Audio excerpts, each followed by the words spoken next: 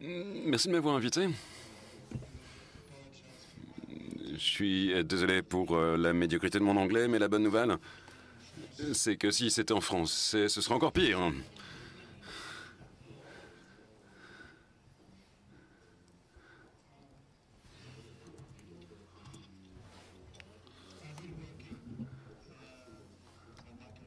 J'ai travaillé pendant toute ma carrière dans le secteur de l'eau, de l'approvisionnement en eau, et au cours des dix dernières années, avec mes sociétés, on a travaillé essentiellement dans le domaine de la perte, des, des, pertes d'eau sur le réseau, qui est très important donc au Portugal.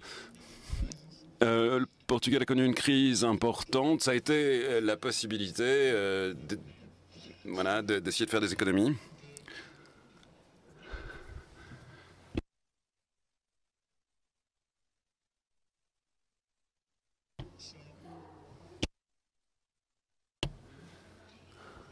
Donc euh, voilà une euh, brève biographie, la société que j'ai euh, fondée il y a cela 10 ans. Je suis le fondateur donc et le directeur général de la société. Au Portugal, les pertes d'eau, euh, ça représente 30% du volume total. Et comme on le voit en rouge, c'est les municipalités qui sont au-delà de la limite. Donc euh, en réalité, à peu près tout le pays. En ce qui concerne le potentiel de réduction, ça, ça représente euh, voilà, 100 euh, millions de mètres cubes. Au Portugal,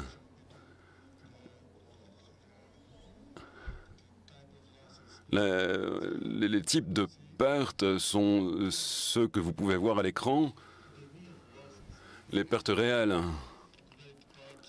représentent là une très grande partie des, de ces pertes, 29%.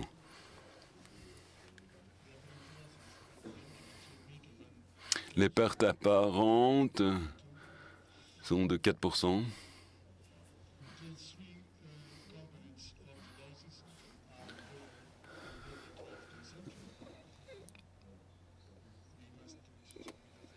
Donc on doit mettre des débitmètres absolument partout.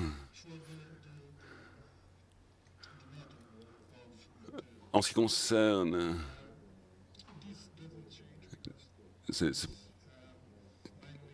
ces, ces débitmètres, euh, bah, ce sont des, des, pertes commerciales, donc euh, essentiellement. Hein. Les pertes apparentes sont commerciales également. Donc,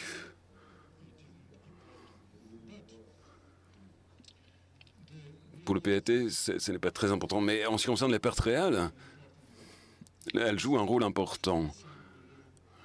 La première chose qu'on fait pour réduire ces pertes réelles, c'est de sectoriser, diviser euh, le réseau en différentes parties. Pourquoi c'est important? Parce que si on divise le réseau, c'est plus facile.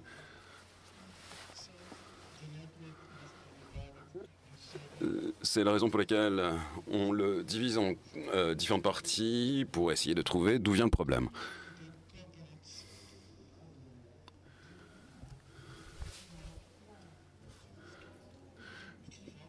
Voilà un dessin que j'ai emprunté à M.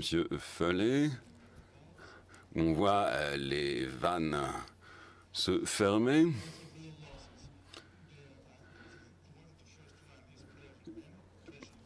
Donc, pour ce qui est des pertes réelles, les, les euh, différentes sources, c'est euh, lié tout d'abord à la gestion de la pression. Il y a euh, beaucoup de pression dans le réseau. Le maximum au Portugal, c'est 6 bars. Et il faut avoir une pression suffisante euh, pour que l'eau arrive chez les gens. Donc, euh, si vous avez un bâtiment de 5 étages, il faut 5, 3 bars, pardon. Donc euh, voilà, la, la fenêtre est, est, très étroite. mais au Portugal, il y a beaucoup de municipalités euh, où on voit des pressions de 10, 15 bars euh, qui sont impossibles à contrôler. Donc c'est la première étape pour réduire euh, ces pertes réelles, la pression, la gestion de la pression. la deuxième possibilité, c'est le contrôle des fuites de manière dynamique. il faut évidemment trouver la source de la fuite.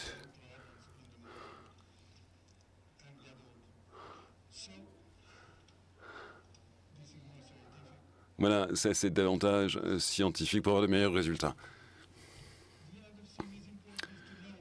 Il faut également savoir ce que vous avez. Il est impossible de gérer ce que vous ne savez pas. Donc il faut avoir euh, des informations sur le système géographique. Il ne s'agit pas simplement euh, voilà, du diamètre, de la longueur du matériau, mais également des, vannes, euh, si elles sont fermées ou pas. Euh, et au Portugal, ce sont des informations qui sont très difficiles à obtenir. Comme vous le savez, au, Portugal, il n'y a pas une très bonne organisation.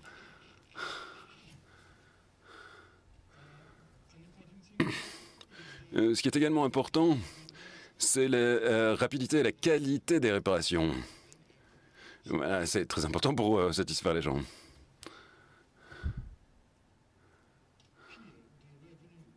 Donc les euh, recettes euh, pour l'eau, c'est 20 à 25% par rapport au reste de l'eau.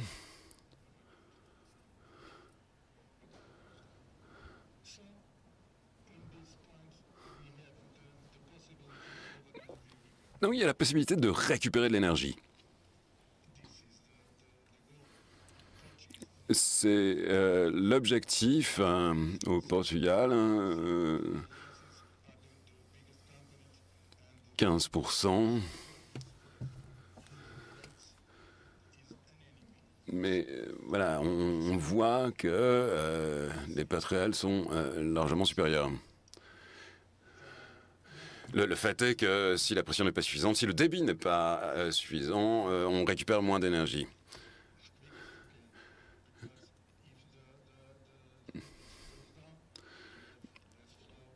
Et évidemment, avec des fuites, il y a moins euh, de débit, moins de production d'énergie.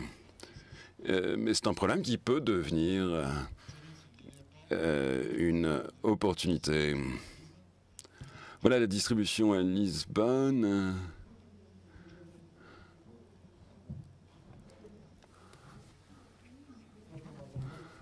Ils étaient au même niveau à 25. Et ils ont mis en œuvre ce type de solution. Et en, en une année, on est passé de 27 millions à 23, 19, etc. Avec un investissement de 2 millions d'euros. Et en une année, ils ont récupéré 50 euh, millions d'euros. On voit chaque année. Voilà, ça, représente 18 euh, millions de mètres cubes par an. si on compare au point de départ. Donc c'est un, investissement, c'est un très bon investissement. Donc si on compare Lisbonne avec les autres grandes villes, il y a beaucoup de propagande dans mon pays. Hein.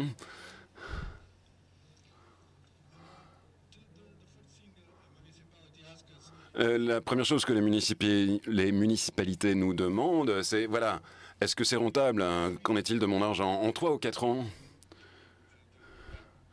Eh bien, on euh, arrive à, un bon rendement de l'investissement. L'investissement devient rentable en trois ou quatre ans. Et euh, cela permet de récupérer de l'énergie. Economic investment components are there. Le cadre comment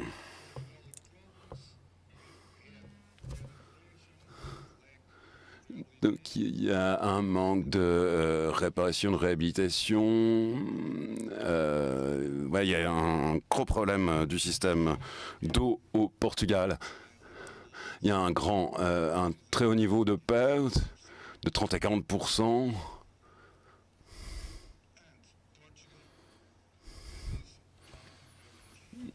C'est un euh, problème auquel le Portugal est actuellement confronté.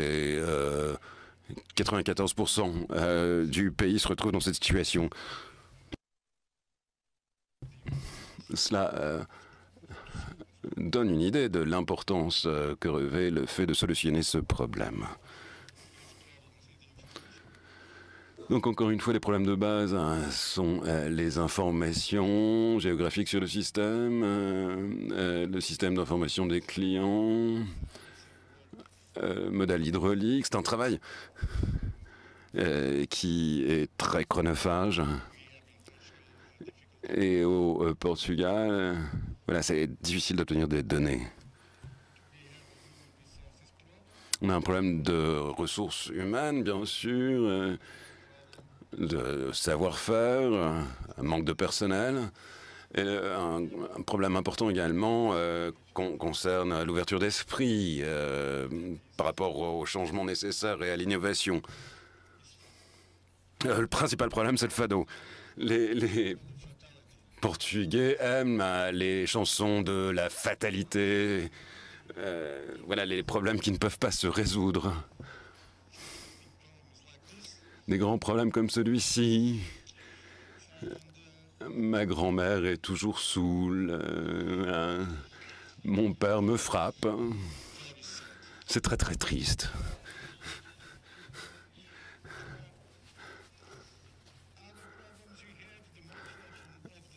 Il y a également le problème euh, du dysfonctionnement du système d'approvisionnement. Il n'y a pas de contrôle euh, du débit. J'ai j'ai demandé d'ailleurs une petite vidéo.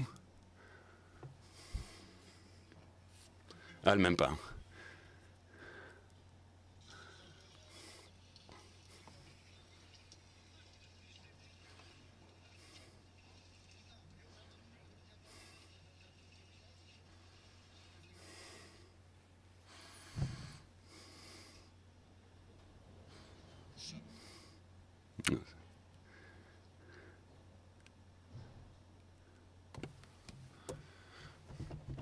C'est un client qui... lot of problems. This is one. Voilà, un autre problème du Portugal.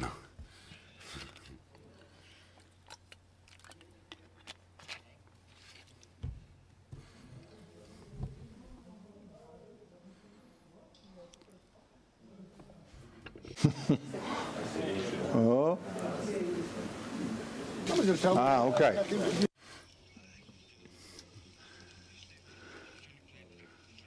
Est-ce que vous pouvez revenir en arrière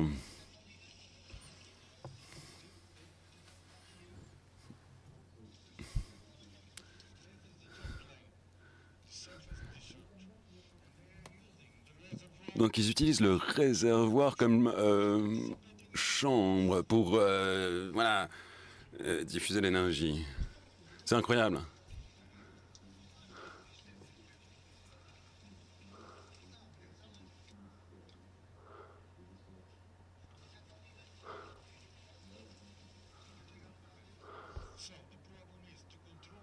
Donc le problème est de le contrôler.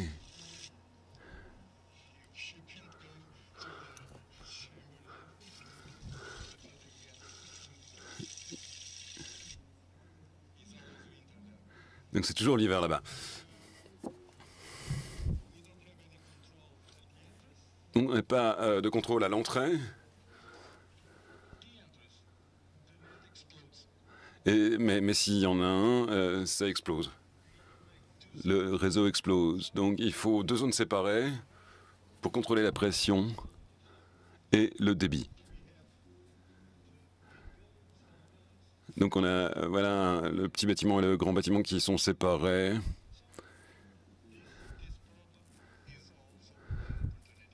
Donc ce problème peut euh, devenir une aubaine.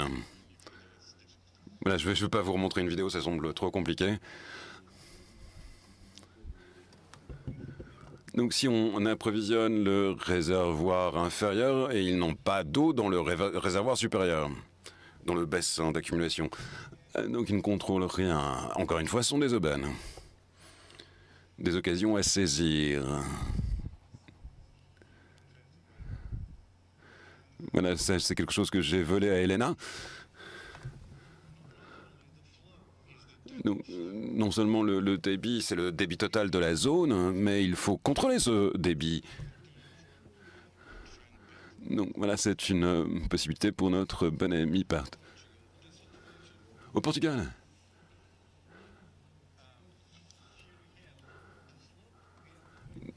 Donc on, voit ici les pentes euh, dans euh, les différents territoires. Euh, on voit également en fonction donc la, densité de population, euh, notamment en, Algarve. Euh, j'espère que vous êtes allé en Algarve. On a besoin de touristes.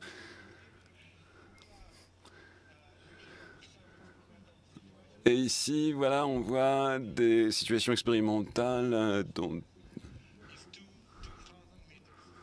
donc avec des sommets à 2000 mètres, alors que le, la municipalité est à euh, quelques centaines de mètres. Donc c'est une possibilité de récupérer de l'énergie. Donc on voit la densité de population près de la mer, hein, sur les côtes. La situation est curieuse. Euh, plus de 95% des bâtiments sont des bâtiments de 1 à 2 étages, ce qui signifie qu'il n'est pas nécessaire d'avoir une euh, pression tellement élevée, euh, voilà, 5 bars dans le réseau. Et, avec euh, des endroits où la pression est encore plus élevée. Ça n'est pas logique. Puisque dans la grande, dans la grande majorité du pays, deux bars seraient suffisants. Et voilà, on peut, voilà, on peut limiter à trois bars par exemple et dire euh, si vous en voulez plus, faut, faut payer. Il en va de même hein, pour la consommation. Vous avez ici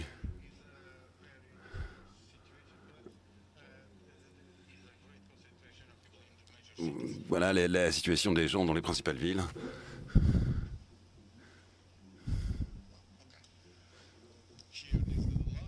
Les pertes dont j'ai parlé tout à l'heure,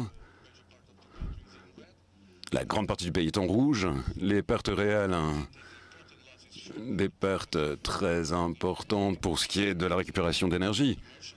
Euh, puisque, voilà, ce sont des pertes réelles, encore une fois.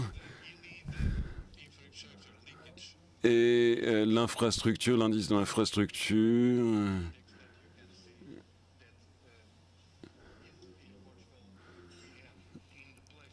Voilà, on, voit euh, là où on pense que c'est bon comme ici.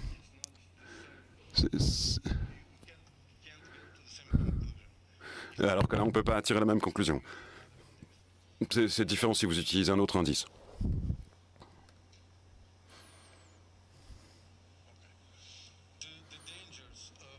Les dangers de cet indice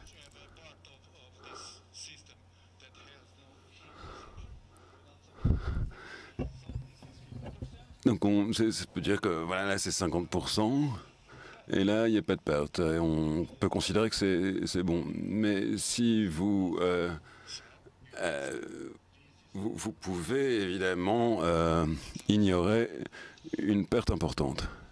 Et, et donc l'indice est erroné.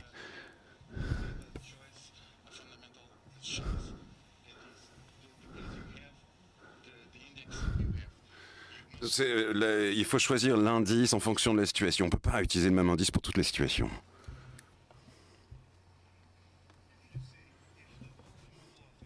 Si le volume de perte est le même, vous avez par exemple d'un côté 50%. Euh, si la variation va euh, jusqu'à 60%, vous avez 30. Mais si les gens consomment moins, vous avez 68, mais les pertes en volume sont les mêmes. Au Portugal, après la crise, les gens ont euh, utilisé moins d'eau euh, et le pourcentage euh, est devenu plus élevé, ce qui est bien. Mais les gens qui paniquent, c'est très bien. Uh, uh, Un élément important eh bien, relève de la fiabilité. C'est ce dont on parle toujours. Et euh, lorsque l'on parle euh, de réseau, alors euh, nous avons des implications en termes de tarification, de taxes, et c'est en Portugal celle-ci est plus élevée. Et j'utilise cet élément, c'est une cette taxe.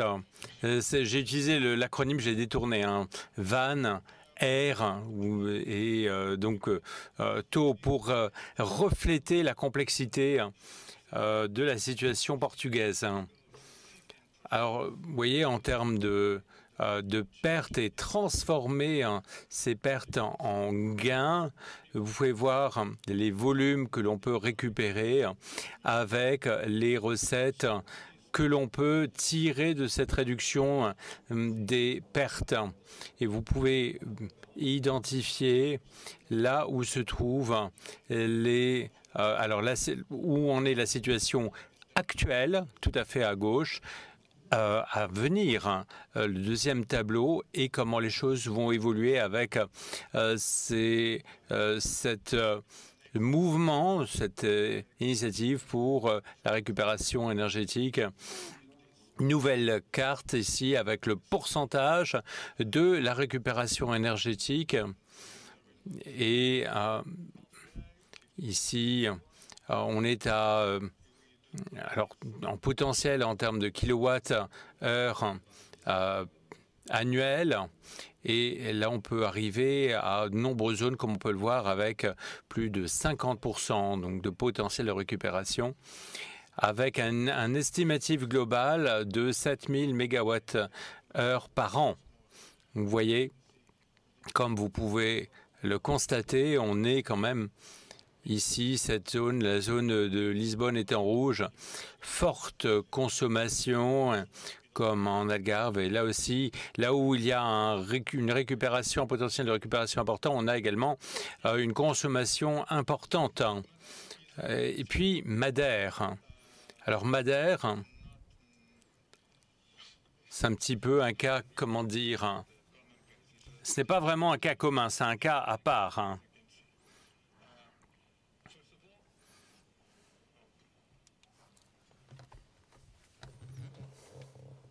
Alors, pourquoi? Le climat, le climat, la gastronomie et puis des paysages fabuleux. Donc climat, gastronomie, paysages fabuleux, voilà. Et le, euh, port de alors l'aéroport de Madère porte le nom de Cristiano Ronaldo, euh, le célèbre joueur de football originaire de Lille, et puis Funchal. Donc voilà, nous avons les deux réservoirs qui représentent quelques 30% euh, de la... euh, donc ces zones représentent quelques 30% de la consommation à Funchal. Alors, on est à 800 mètres de dénivelé avec euh, euh, 19 zones, donc avec des pressions qui euh, sont réparties avec 42 réservoirs. Également, on est à 56% de pente en moyenne ici. Donc vraiment un cas particulier. Euh, donc, et d'ailleurs une situation fort compliquée. Donc on, a, on arrive à 65% de pertes. Donc euh, oh, c'est absolument incroyable. On est à des pertes extrêmement importantes, des déperditions hein, très très très importantes. Alors qu'est-ce que ça veut dire? Eh bien voilà, si voilà vous ne jouez pas au football, eh bien vous pouvez jouer à l'eau. Voilà, d'où cette photo. Euh, et à Funchal, donc euh, nous sommes euh, en face du- d'une, nous sommes face à une opportunité considérable en termes euh, de étant donné notamment les dénivelés significatifs.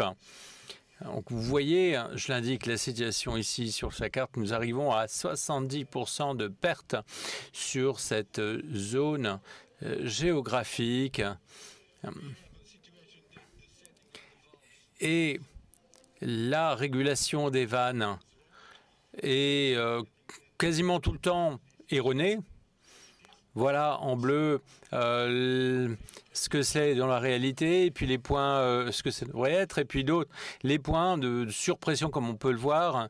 Et donc on est dans des situations où il y a beaucoup, beaucoup, beaucoup de déviations. Et donc si vous avez un problème de faible énergie à ce niveau-là, et vous avez une ligne euh, qui se trouve ici, vous allez vous retrouver avec cette différence de niveau, vous allez faire quoi? Eh bien, vous allez euh, euh, essayer de relever la pression, mais le problème, ce n'est pas la vanne. Ce ne sont pas les vannes, c'est le réseau de canalisation euh, avec des distributeurs mal paramétrés, trop importants en taille d'ailleurs. Comment est-ce qu'on peut essayer de résoudre le problème? Et ici, vous avez des pertes en ligne mais en bleu, donc en rouge, on est à 20 mètres par kilomètre de perte. C'est complètement dingue. C'est absolument incroyable. Nous devons par conséquent euh, aborder le problème. Voici la situation en, termes de pression maintenant. Euh, rouge au-dessus de 6 bars. C'est de toute façon illégal au Portugal. En noir, on est au-dessus de 10 bars hein, de pression. Encore plus, on est encore plus dans l'illégalité. Et donc, la 50% du réseau euh, est dans les clous, c'est-à-dire euh, est euh, réglementaire, conforme à la réglementation. Hein. Et ça veut dire que, bon, à part les grandes villes, avec les hôtels et ainsi de suite, eh bien, on arrive à une situation complètement folle. Et donc, on est confronté à un grave problème. Hein. Alors nous avons fait donc 30 euh, DMA, donc évaluation pour euh, les euh, vannes de régulation de la pression. Voilà la situation actuelle. On a modélisé le, le modèle avec le logiciel dont toutes les municipalités disposent. Et à l'avenir, on arrivera donc après le lancement des travaux. Les travaux seront euh, lancés cette année et permettront d'arriver à cette situation présentée ici, donc à court terme. avec une chute en pression pour arriver à 1,6 bar en chaque donc, zone donc là, on est à 3 bars et ainsi de suite. alors les, donc à court terme, on arrivera à des niveaux de perte de 61% avec une réduction annuelle de 6,7 euh, millions de mètres cubes. Donc ici, voilà la situation telle qu'elle est. Les pressions avec les vannes de régulation, situation actuelle, situation à l'avenir. Euh, nous allons installer 50 vannes dans le système, dans le réseau, pour euh, remédier et vraiment changer le visage de cette situation. Donc, qu'est-ce que ça... Ici, ça c'est la situation dans l'ensemble. C'est une vraie situation. On est dans un, un cas concret. Et les trois grands éléments avec les paramètres existants, les paramètres une fois les installations mises en œuvre. Donc si vous reconcentrez maintenant, zoomez sur cette, euh, ce choix, donc cela nous permettra d'arriver à, cette situation. Et vous voyez, on va arriver à une réduction des pertes, une maîtrise du débit, donc un débit plus maîtrisé, et un meilleur rendement. Euh, ça, c'est important dans le modèle parce que ce n'est pas un système d'approvisionnement à flux constant. Et donc le niveau des pertes crée effectivement une opportunité, mais ça peut être également un ennemi qui se retourne contre vous. Donc il faut ici être en maîtrise. Et puis le choix de vitesse, vitesse variable, donc 63 MW ici au cours de la première année, et puis 15 ans plus tard, on arrivera à 8 MW. Si nous utilisons, alors si l'on est dans un, paramétrage à vitesse constante, vous voyez, les heures de production vont diminuer, car le rendement en ligne va aller diminuant.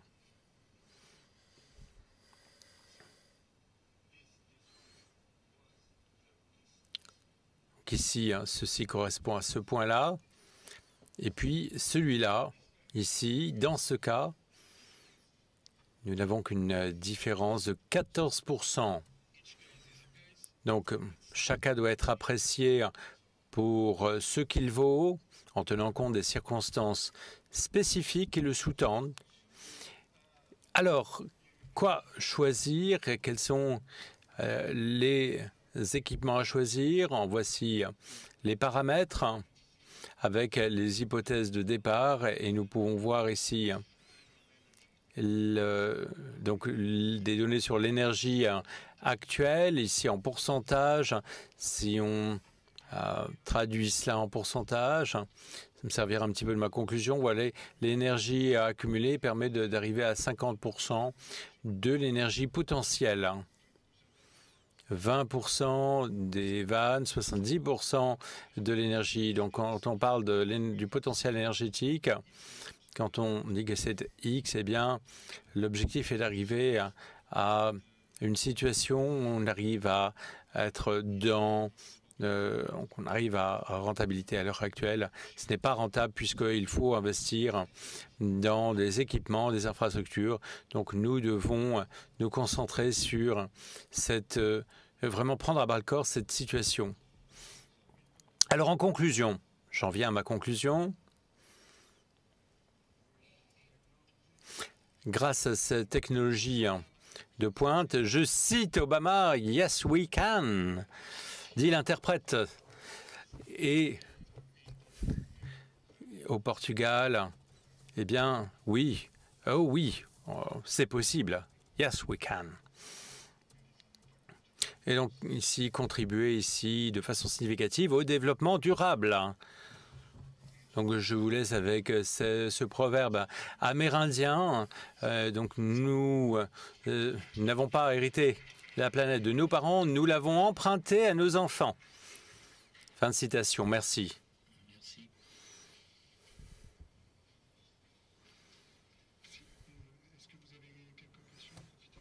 Les intervenants sont là. Oui. Bah, oui, je voudrais. Ah, pardon.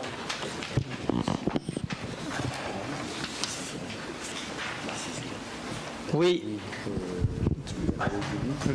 Bah, simplement savoir euh, la différence que vous faites entre perte réelle et perte, perte apparente. Uh, what's the difference between real and real loss? Okay. The the okay.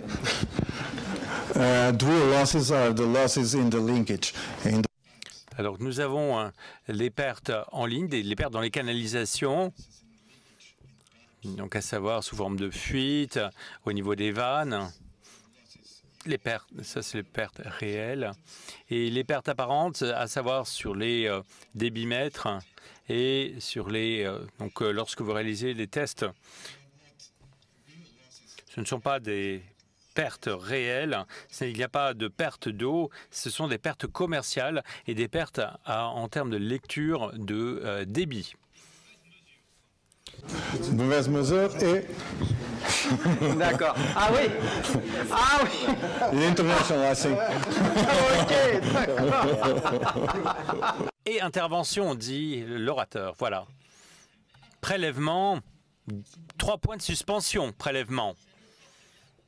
Ah, On va, maintenant prendre un petit peu de temps pour voir dans le cadre du projet les différents chantiers tests qui vont être faits, euh, donc que ce soit au Portugal euh, ou en France, donc avec euh, professeur Elena Margarida Ramos qui nous vient également du Portugal et qui travaille beaucoup avec Armando sur justement le côté technique euh, au niveau du dimensionnement hydraulique des différents ouvrages. Ok, merci beaucoup, euh, Yves, and, euh, merci beaucoup pour la table, euh, illustre euh, président and, and sorry. It's a bit difficult when we have to speak. c'est toujours difficile quand on parle euh, langues étrangères euh, quasiment de, manière si, simultanée, passant ainsi d'une langue à l'autre. Alors, hmm, puisque l'anglais est une langue officielle de ce projet, je vais m'exprimer en anglais. Une petite, euh, alors quelques éléments sur ma biographie. Je suis professeur à l'université de Lisbonne, hein, dans le cadre de la faculté de génie civil. J'ai publié, voici la liste de mes communications scientifiques dans le domaine de solutions de pompage, de stockage, euh, de solutions hybrides, détection des fuites, génie appliqué à l'eau. Voilà une vue d'ensemble, une vue de synthèse de cette présentation. J'aimerais démarrer en vous par le développement durable. Thème essentiel hein, quand on travaille dans le domaine de l'eau. Et l'eau, comme vous le savez, est au cœur du développement durable.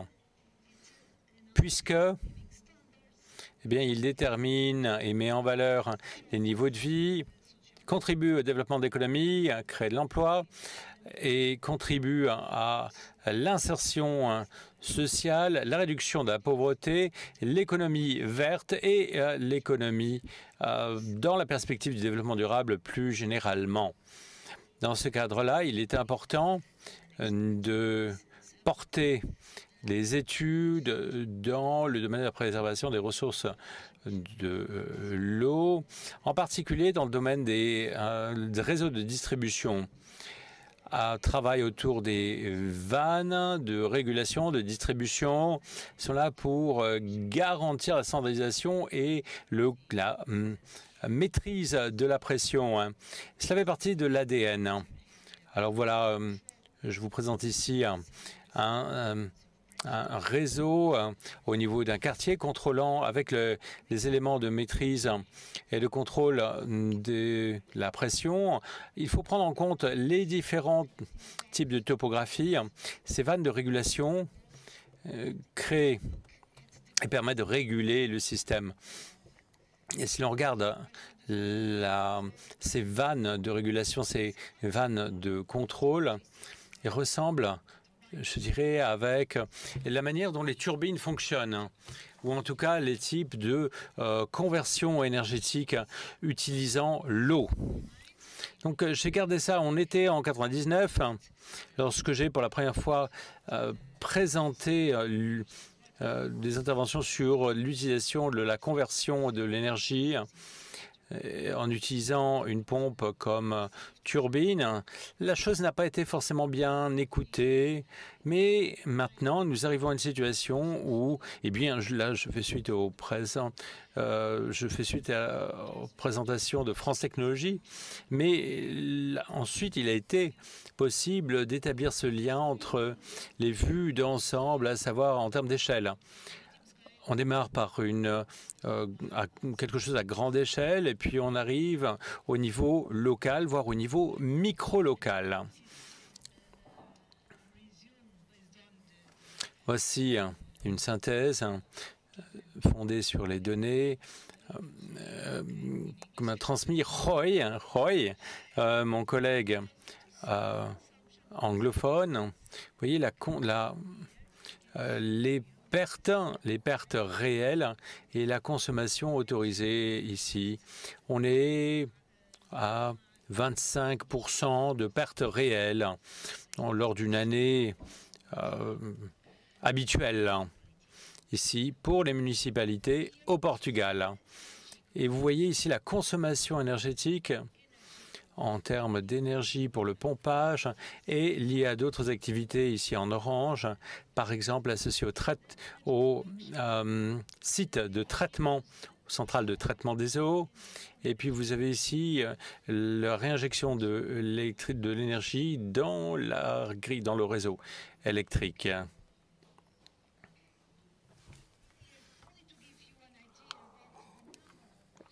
Juste pour vous permettre de saisir le nombre de réservoirs euh, entrant dans le calcul de ces euh, convertisseurs énergétiques. Une des possibilités euh, est associée aux réservoirs, comme on l'a pu voir dans les différentes interventions. Il est dans les, ce qu'on appelle les bassins ou les réservoirs. Il est important pour vous de garder en tête l'idée de l'EPAL. L'EPAL, c'est en fait le système de gestion des eaux à Lisbonne. C'est une, euh, organisation avec les quantités d'eau. Bien évidemment, tout dépend euh, euh, de l'évolution annuelle, des besoins annuels, et ceci vous permet d'arriver à une estimation de la valeur moyenne de ces 39 PRV à savoir ces vannes de régulation de pression, 39 PRV. Et euh, si vous calculez l'un par rapport à l'autre, vous arrivez à euh, donc au débit euh, et ce que ça représente en termes de production électrique. Comment arriver à tirer parti de cette situation à Funchal, comme il a été indiqué précédemment? Nous arrivons à euh, donc euh, la problématique du contrôle euh, des surpressions et EDIA est en fait l'opérateur du système d'irrigation hein, de Akeva. C'est un système de grande ampleur hein, et qui est avec un regroupement d'investisseurs. Et on peut estimer ici qu'on est à quelques 20 de l'énergie, du total de l'énergie consommée peut être récupéré. Voilà la carte en termes de la production énergétique au Portugal pour les systèmes d'énergie renouvelable. Différents types, différentes sortes d'énergie, sources d'énergie renouvelable avec l'énergie hydroélectrique extrêmement importante au Portugal avec les différents sites, en particulier dans, le, dans la partie nord du Portugal, étant donné la topographie de cette euh, région. Et puis, euh, l'énergie éolienne, on peut intégrer hein, ces sources d'énergie, on peut intégrer certaines d'entre elles et transformer ces solutions en solutions hybrides. Pourquoi pas? En termes de perspective, je pour, pour l'avenir de développement de solutions. Hein. En termes de récupération énergétique, hein, nous avons hein, alors différents types de turbines euh, en fonction alors euh, euh, des systèmes micro hydroélectriques, contrôle de commande de la pression, et donc, nous pouvons contrôler hein, les débits hein, avec ces différents types de machines. Et je peux observer ici les différentes solutions possibles avec les modèles, en particulier avec le modèle à multi-étapes. Et euh, ici, vous avez différentes conceptions qui peuvent entrer en jeu en fonction de ces différents éléments. Et nous pouvons parler des systèmes d'approvisionnement d'eau, il est important d'identifier les points critiques, les points névralgiques du système de manière à pouvoir préserver une pression minimale dans l'ensemble du euh, système. Nous devons garantir cette pression minimale dans le système lorsque euh, les canalisations sont euh, sous terre. Il est important d'analyser et la donc euh, les installations euh, hydromécaniques et euh, parce que nous sommes en présence ici de différentes pressions et il est important de cerner la demande. Cette demande varie hein, tout au long de la journée. Nous devons combiner hein, les différents sites. Alors, euh, hydroélectriques, ils sont très, tout à fait versatiles, tout à fait polyvalents. On peut y intégrer différentes composantes du secteur de l'eau. Par exemple, les euh, sites, les unités de traitement des eaux de, pour l'industrie, pour les villes, les villages. Et maintenant, dans le cadre de euh, euh, donc, euh, des sites de retraitement des eaux, eh bien, nous arrivons à ces chiffres-là et vous voyez, euh, on peut arriver à estimer une consommation énergétique totale de 15 gigawatts par an. Donc, vous voyez ici le, défi qui se présente revêt un intérêt considérable. Et nous avons ici ces systèmes euh, qui nous permettent de traiter, euh, de créer des systèmes de bassins de rétention et également euh, d'arriver à ce type euh, de système de euh, alors en particulier lorsqu'il y a des, une pluviométrie importante et des, précipitations importantes, ça crée des problèmes ici. De, on peut se retrouver en présence d'inondations. Euh, Lisbonne est une très belle ville, néanmoins, mais on peut arriver à des solutions comme celle-ci avec différents euh, bassins de rétention euh, pour contrôler l'énergie dans le système. Alors, système d'irrigation, c'est système d'irrigation, habitude. Alors, l'eau n'est pas pompée, c'est ainsi qu'on arrive à une garantie, en tout cas de, du débit ici, d'énormes quantités d'eau sont utilisées et on peut utiliser ces systèmes de pompage pour euh, économiser hein, l'énergie, créer de l'énergie de manière et là euh, les calculs dont nous disposons nous permettent d'arriver à ce que à développer une modélisation par le biais d'outils permettant de d'opérer des, des, prévisions. Hein. Donc ici, à des fins investigatives, hein, euh, c'est très important de disposer de ces euh, données. Les, fabricants euh, ne nous donnent pas forcément ces données.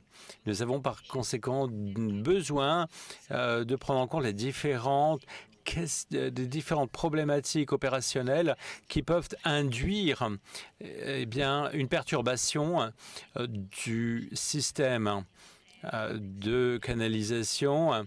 Il peut y avoir un, système axial, radial, et euh, professeur Gravetta décrit un petit peu cette chose et puis travaille aussi de concert avec des équipes de recherche euh, pour modéliser. Eh bien, Redon, c'est quoi? C'est un, pro, un projet où nous souhaitons développer un, à la fois un enseignement, mais également euh, trois euh, projets, trois projets, trois sites. Le premier dans l'industrie pour Renova, c'est une entreprise, c'est un euh, alors une entreprise qui fabrique du papier au Portugal, papeterie, et puis nous avons à Cordoba, à Cordoue en Espagne, un projet pilote. Et puis ici en France, euh, et euh, avec ce projet pilote. Donc trois projets pilotes appliqués à trois utilisations différentes. Alors projet pour l'industrie, l'irrigation et distribution hein, euh, respectivement. Il est important de disposer de conseils, de recommandations pour guider les choix en fonction des différents types de systèmes, de manière à pouvoir euh, développer une euh, confiance renforcée pour appliquer ces différents types de solutions. Voyez, puisque le projet se concentre sur c'est le secteur de l'eau. Essayons donc euh, de baser nos analyses sur des éléments factuels et faire ressortir le bénéfice des applications. Voilà la présentation de cette euh, industrie, des différents process euh, de cette papeterie. Premier projet, alors se concentrant sur l'innovation, le lendemain de manière à pouvoir obtenir les meilleurs process pour la production. Nous pouvons observer, constater qu'il y a deux fabriques de papier, deux manufactures.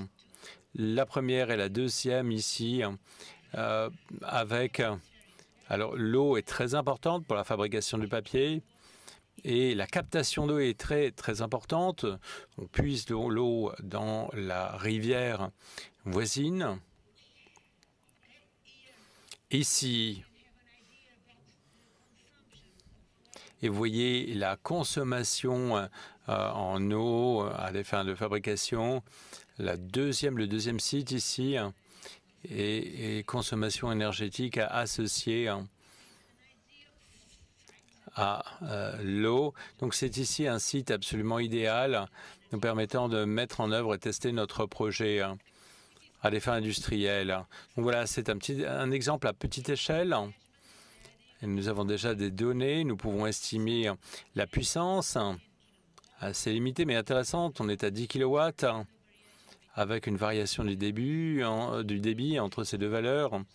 Donc euh, on est à, avec une tête disponible ici. On est à 30 mètres ici, une chute. Et ici, un projet fort intéressant. C'est une sorte de petit projet euh, hydroélectrique. Et vous voyez là euh, le dessin technique des différents éléments du projet. Et vous avez ici une, de la sortie. Alors, sortie se trouve en souterrain qui va passer sous cette route et qui va ressortir ici en bas, donc dans la rivière. Voici le, le débit en sortie. Donc il y a différents certains éléments de contrôle en termes de la qualité de l'eau, en termes des niveaux euh, d'eau. Et ça, c'est notre implantation. Et nous sommes en saison sèche, en été. On est parfois euh, sans pluie pendant dix mois. Donc euh, ici, il s'agissait d'une crise très, importante en 2007 qu'on a pu euh, euh, traverser. Vous voyez les différentes. Vous devez tenir compte des différentes variables dans chaque étude. Chaque cas est, présente ses spécificités. On voit ici une pompe qui peut fonctionner comme turbine en fonction du débit avec une efficacité de 80% euh, au niveau maximum. C'est une recherche intéressante pour ce qui est euh, de la possibilité d'utiliser des convertisseurs d'énergie pour n'importe quel euh, centre pilote, un système d'irrigation dans le district de l'Andalousie donc près de Cordoue.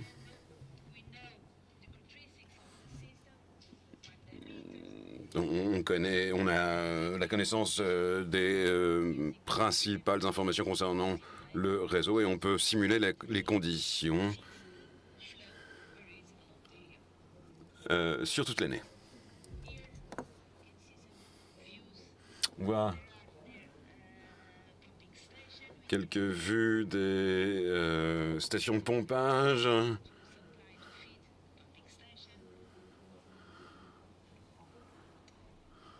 Leur alimentation. Voilà notre réseau.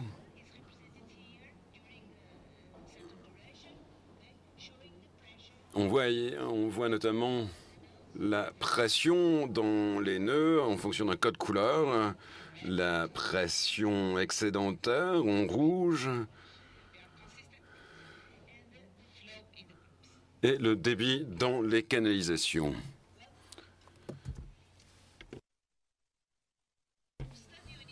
Pour n'importe quel type euh, d'étude veut faire des approximations.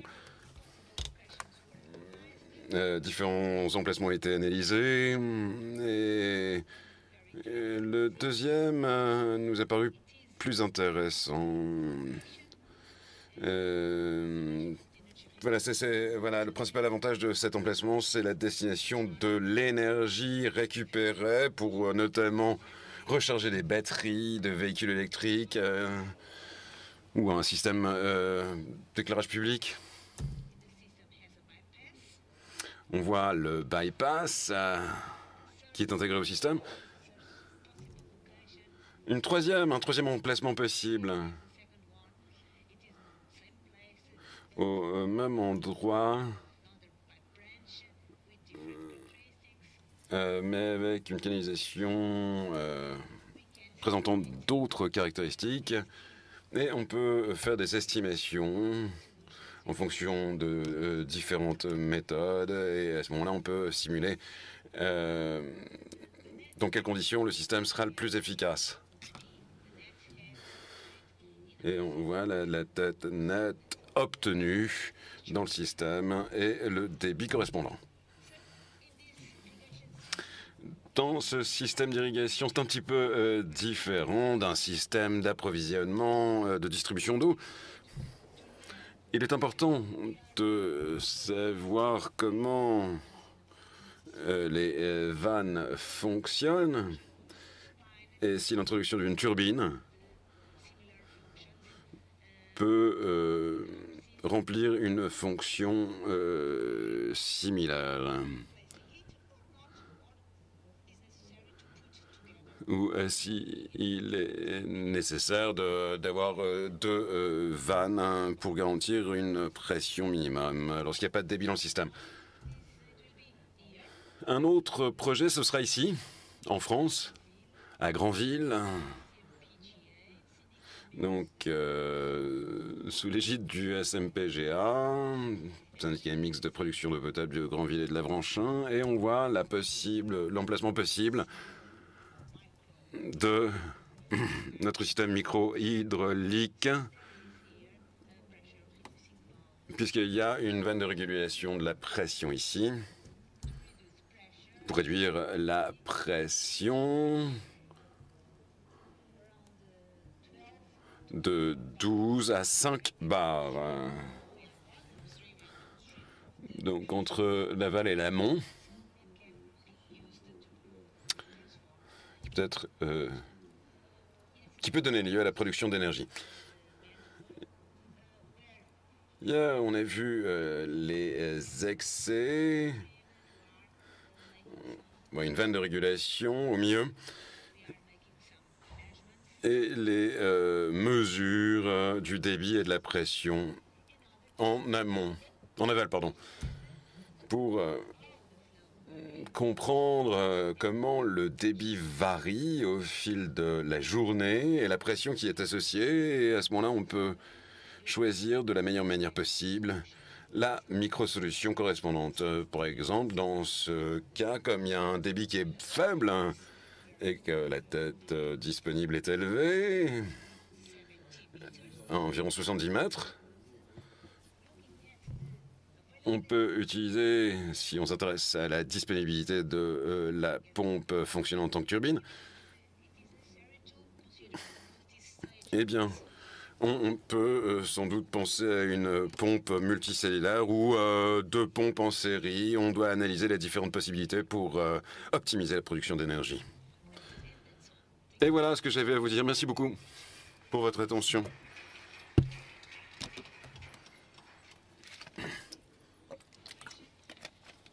Est-ce que vous avez des questions?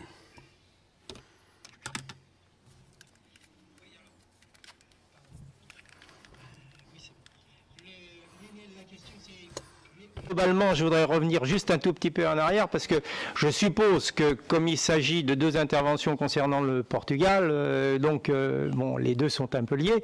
Mais tout à l'heure, j'ai pas posé la question, mais euh, tout à l'heure, on s'est intéressé aux pertes du réseau au Portugal. Et a priori, s'il y a perte, c'est que le réseau fuit Et donc la première chose, c'est pas d'intervenir sur des sur des problèmes de pression, c'est d'intervenir sur euh, la tuyauterie. Et donc euh, en amont, moi, ce que je ferais, c'est commencer par changer euh, changer la, les tuyaux du réseau. hein. Voilà. Donc c'est pour ça que je, je- bon, comme, comme l'intervention était liée précisément aux récupérations d'énergie, j'étais un petit peu, euh, enfin bon, euh, je me demandais si j'avais bien compris quoi. Oui. Maybe my colleague can.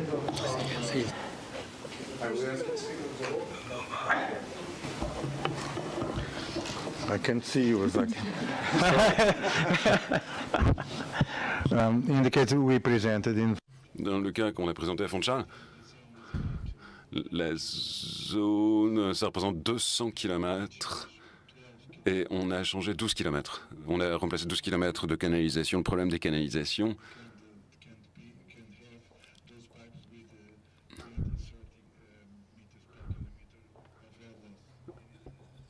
Euh, mais qu'on ne peut pas tous les changer d'un coup. Je peux essayer de parler en français, mais Ferré donc. so? Well, um, I don't, don't know who,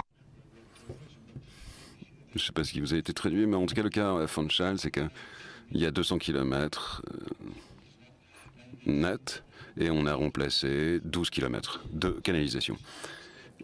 Les canalisations euh, qui avaient le plus de pertes ont été remplacées. Là, la première chose, c'est de euh, faire en sorte que le système soit en situation de fonctionner de manière du point de vue hydraulique.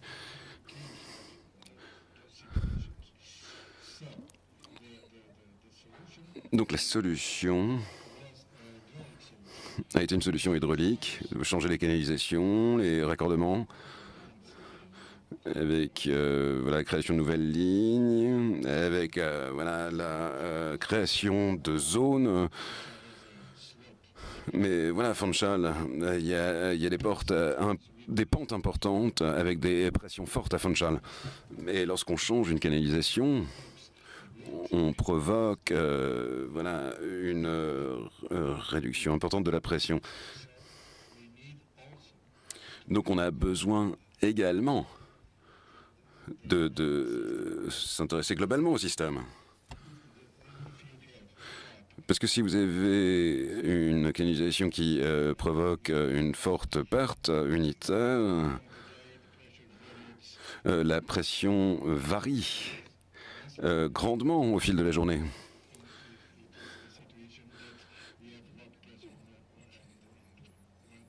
Et voilà, on, peut ne pas avoir de pression à tel endroit, euh, une pression très élevée à tel autre. Euh, mettez votre casque s'il vous plaît. J'entends. Ouais, bon. Si je me comprends, je... Bon, il, il n'empêche qu'à partir du moment où votre réseau n'est pas étanche suffisamment, il faut commencer par l'étancher. Ça me paraît être le B à bas. Hein. Voilà. D'accord, donc je recommence. Si vous constatez dans un réseau sur lequel vous avez changé 6% de, de canalisation euh, en très mauvais état, hein, 12 km sur 200, euh, qu'il reste encore plus de 30% de pertes, c'est que votre réseau n'est quand même pas satisfaisant du point de vue de son étanchéité. Donc je dis que la priorité, c'est d'agir sur cette étanchéité, quitte à utiliser des crédits, utilisons-les d'abord pour l'étanchéité des réseaux, et ensuite, dans un deuxième temps, éventuellement pour agir sur les excédents de pression. Voilà, c'est uniquement le constat que je voulais faire. Pour, compléter les, propos, Monsieur Dacheux, c'est surtout, euh, je pense que ce qu'a souhaité présenter aussi l'intervenant portugais, c'est qu'il y avait un, double effet. En effet, en venant changer les réseaux, bien sûr, on réduit les fuites. Mais il y a le double effet, un effet d'aubaine, c'est qu'en plus, si on travaille aussi sur la pression, en plus de la recherche de fuite, on vient améliorer encore plus l'efficacité et, en fait, l'impact, il est aussi financier. C'est-à-dire qu'il y, a en effet, une fuite, c'est toujours une perte d'argent. Et c'est d'autant plus une perte d'argent qu'en plus, la pression est élevée. Donc c'est pour ça que finalement, je pense qu'il y a une approche des, deux sujets de concert pour arriver à une optimisation du réseau hydraulique qui, c'est vrai, au Portugal est en moins bon état qu'aujourd'hui sur nos territoires. Si je peux me permettre d'intervenir, je crois qu'il y a une confusion au niveau de la traduction entre les pertes de charge et les pertes, euh, les pertes en eau. Ah euh, vous parlez des pertes de charge, head losses. Ah. et, euh, et, si, si, et ah monsieur traduit au niveau des, pertes du réseau, donc c'est pas la, ben. l'approche n'est pas la même. c'est sûr, c'est normal. Hein, entendez-nous. Mais... bon, la, la, perte de charge, elle est liée à la résistance de la canalisation par rapport à la circulation d'eau, et la perte du réseau, elle est liée aux fuites. Moi, je pense que vous parliez bien des fuites c'est-à-dire dans les dessins qu'on a vus, les flèches vers le bas, euh, c'est-à-dire euh, l'eau qui s'infiltre. Non. Non It was the unit head loss. Unit head loss, Okay, there is a confusion between head losses. There is il y a une confusion entre les pertes de charge et les pertes euh, d'eau. Les pertes euh, de charge, c'est dû au à la friction. Euh, voilà, la, la perte d'eau, c'est dû aux fuites et aux, aux endommagements des canalisations. Mais voilà, je suis très optimiste.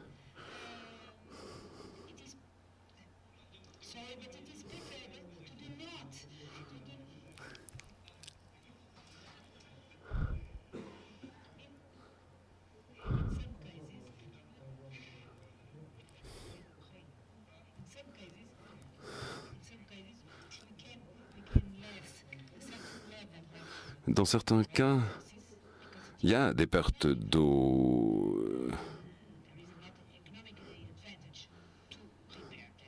Euh, mais on peut les tolérer parce qu'il n'y a pas un avantage économique à euh, réparer euh, la canalisation, mais on peut compenser ces pertes en produisant de l'énergie. Si vous n'avez pas de perte, vous pouvez produire de l'énergie uniquement s'il y a de la consommation d'eau. Mais dans certains cas, il n'y a pas d'avantage, et où ce n'est pas faisable, de réparer euh, les, canalisations.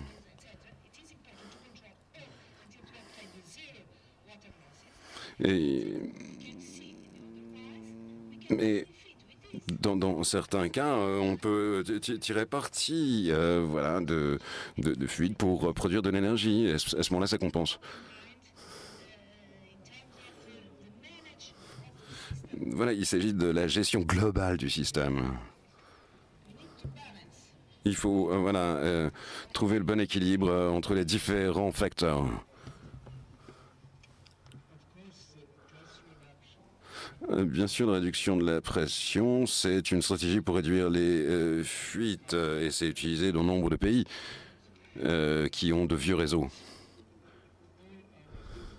Mais tout notre système a été conçu voilà, avant les années 70 avec un niveau de pression qui était très élevé par rapport au aux vrais besoins. Donc, euh, si euh, voilà, euh, il est possible de réduire la pression pour réduire les fuites, le, le, voilà, parce que le, niveau de pression n'est pas, qui est nécessaire aujourd'hui n'est pas le même que dans les années 60 ou 70. Et s'il y a la possibilité de produire de l'énergie par ce moyen, même si on réduit pas les fuites, euh, c'est intéressant. Il faut un niveau de pression constant dans tout le réseau, euh, de manière à ce qu'il n'y ait pas une grande variation de la pression. Il faut avoir une vision intégrée. Il ne faut pas s'intéresser uniquement à l'eau, mais euh, voilà, intégrer l'énergie, la production d'énergie également dans le système. À votre façon d'envisager les choses. La première, ça concerne votre potentiel. Ça, la première, ça concerne votre potentiel en ressources. Si vous avez la ressource pour assurer les pertes, ah oui, bon, right. je viens. right, right. It happened with Madeira. Madeira, the resource was oui, c'est arrivé à Madeira. Euh, la, la, la, ressource était disponible à, zéro, euh, à un coût de zéro. C'est que de toute façon, l'argument du vieillissement de la, de, du réseau, il ne va pas aller en s'améliorant. Il ira nécessairement, donc d'une certaine façon, ce que je dis, c'est reculer pour mieux sauter. On est en France. Hein, bon, je ne sais pas s'il y a l'équivalent en, en, portugais, mais... Euh, c'est équivalent, c'est équivalent, donné, oui, oui. Ça se fasse. Oui, c'est vrai. Voilà. Non, euh... Angus, it is an opportunity to give a panel for... Angus.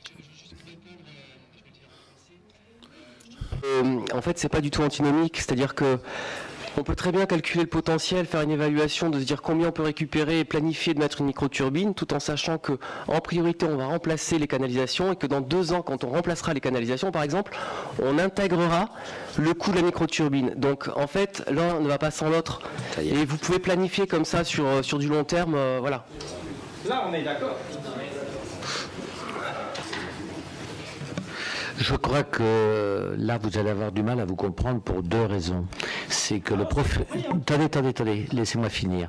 Concernant le profil hydraulique de ce qui se passe en Espagne, ou aussi bien au Portugal qu'en euh, en Italie, c'est que les profils hydrauliques qui ont été conçus dans les années 60 ne prévoyaient pas pour les immeubles de surpression en bas des immeubles. Donc, ce qui obligeait à avoir un réseau avec une forte pression de façon à pouvoir desservir les immeubles qui font 10 étages. hoje. Quand vous ramenez en France aujourd'hui, vous voulez construire un immeuble de 10 étages, vous êtes autorisé à une condition, vous installez une base de surpression en pied pour éviter de faire surcharger la pression dans les réseaux. La base en France, normalement, pour les installations donc des ménages, elle est de 3 bar 5 pour l'étage le, plus haut, puisque vous savez comme moi que les machines à laver et ainsi de suite sont conçues pour euh, des systèmes de sécurité, elles se bloquent à partir du moment où vous avez une pression qui est trop importante. C'est pour ça que vous avez du mal à vous comprendre entre euh, les amis portugais et comment italiens, c'est parce que nous n'avons pas les mêmes profils hydrauliques. Et effectivement, je comprends leur euh, pensée. Donc, quand ils disent on travaille d'abord sur les parties où on a le plus de fuite, il est vrai que ça doit être les points bas pour permettre de réalimenter les points hauts et les immeubles. Effectivement, mais en repensant le système hydraulique et en équipant les immeubles d'une station de surpression en pied, ils pourront diminuer peut-être de 10 ou 15 bars la pression de leur réseau, ce qui leur permettra d'atténuer d'autant les fuites et ils pourront continuer à compenser en y mettant des, des turbines pour pouvoir fabriquer de l'énergie pour avoir alimenté ces immeubles qui pourront, euh, comment alimenter les pompes qui pourront leur donner la pression suffisante. Je pense que c'est là parce que je vous ai tous entendus et effectivement, je crois que vous avez un problème de compréhension parce que vous parlez pas tout à fait de la même chose. J'ai très bien compris ce que vous avez demandé, mais je crois qu'il faut se remettre à la place de nos collègues euh, comment, euh, comment portugais ou italiens. En Espagne, ce doit être le même souci. Il doit y avoir le même problème. Oui, mais j'insiste parce que on, a lié les deux. Ce qui me gêne, c'est qu'on lie les deux. On dit, on va profiter des fuites pour faire de la récupération. S'il n'y a pas de fuite, le problème de la récupération s'impose de toute façon. À partir du moment où vous bénéficiez de dénivelés importants et donc de surpression importante, vous avez l'énergie à récupérer. Donc, de toute façon, il faut la récupérer. Et de toute façon, mais je pense quand même qu'ils sont obligés de repenser leur système hydraulique dans l'ensemble de ce qu'ils refont aujourd'hui. Chose que nous, on n'a pas besoin de faire. Quand on remplace des réseaux, on ne change pas le comment, le profil hydraulique. Et je pense qu'ils n'ont pas le choix pour éviter, et je pense que ça ne doit pas être facile, ça doit être de sacrés chantiers à mettre en place et qui ne doivent pas être faciles à gérer. Et effectivement, les financements de 200 km de réseau, je vois à peu près le montant en millions d'euros que ça représente. Voire quelques MD, sans doute. Voilà. Ok.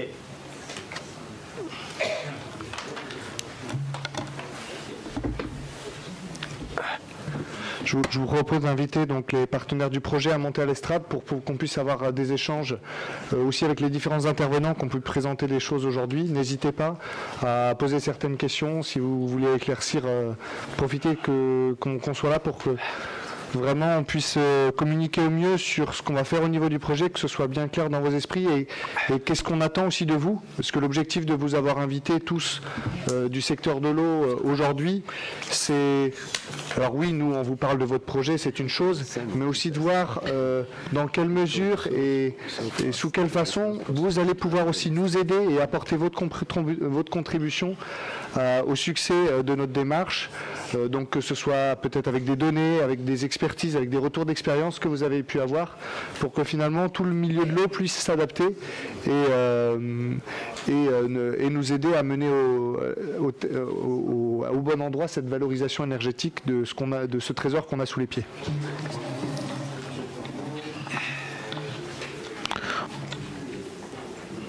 On peut demander à l'ensemble des intervenants de venir de façon à ce qu'on puisse les identifier. Hein.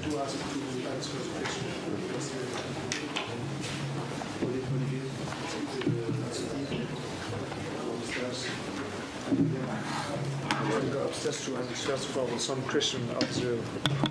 Me too. Just sit yes to, to and, uh, and really sit. As you want. So,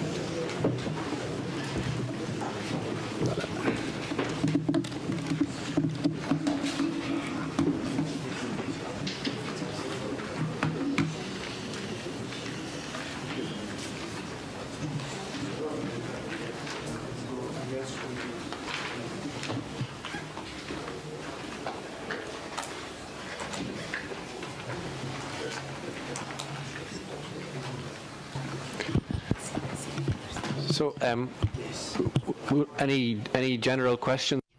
Euh, est-ce qu'il y a une question générale euh, qui n'a pas été encore abordée et que quel, un membre du public aurait à poser?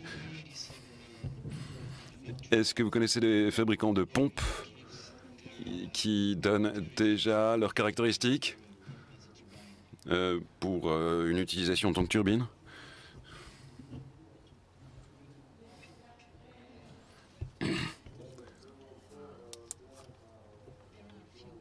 Il y en a quelques-uns.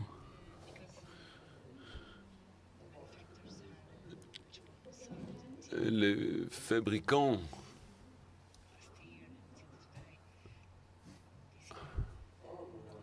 euh, ça s'intéresse au sujet davantage depuis une année. J'ai consulté notamment Caprari, euh, qui est un fabricant italien, et KSP en Allemagne.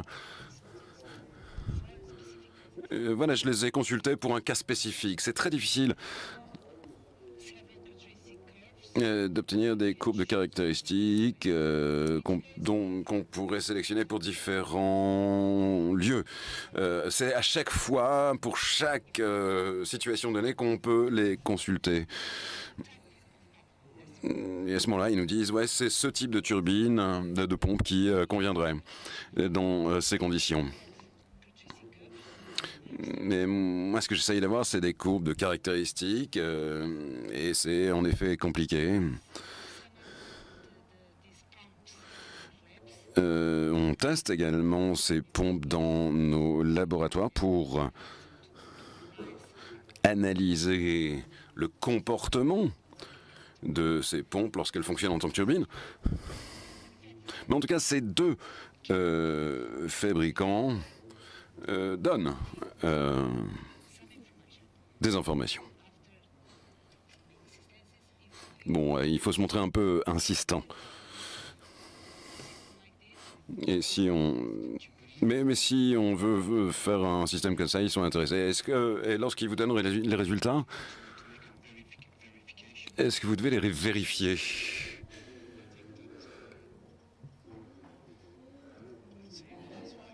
Au cours des cinq dernières années. Il y a de ça cinq ans, Euh, vous n'aviez pas ces euh, informations, mais voilà, dans les cinq dernières années, évidemment, euh, ces pompes ont été largement testées et on peut utiliser ces pompes en tant que turbine. En tout cas, c'est le cas de KSP. Et avec la croissance du marché, ça deviendra plus commun, sans doute.